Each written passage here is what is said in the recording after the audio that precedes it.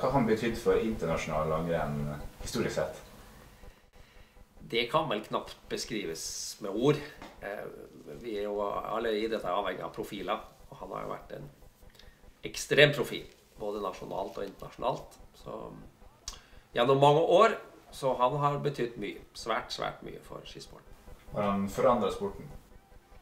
Å ja, det har han gjort. Han var jo den første som virkelig tok de her fellesstartene og med den taktiske biten av det her eh, til et nytt nivå. Så, eh, og mange har tatt etter han. Det er sånn er det med de beste. De blir kopiert både av små barn og av andre løpere. Sånn, så han har definitivt endra sporten.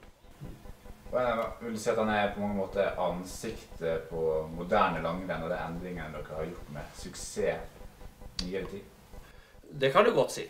Altså, han, eh, han kom med sin hurtighet, og kombinert selvfølgelig også med en ekstrem utholdenhet. Eh, og, og var med og, og, virkelig satte preg og gjorde underholdning med sine rykk. Det er jo rykket han er mest kjent for, og avslutningene sine. og det taktiske spillet underveis. Så han har eh, definitivt tilspurt sporten mye.